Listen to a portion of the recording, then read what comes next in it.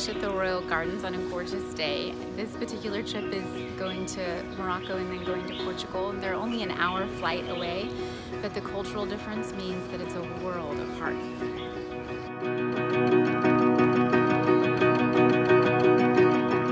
We're at the Marrakesh airport. We're, we're about to end another great executive MBA program. We're here to help our students connect the dots so that they monetize the decisions and tools we learn in a classroom with real live business and organizations in these emerging markets.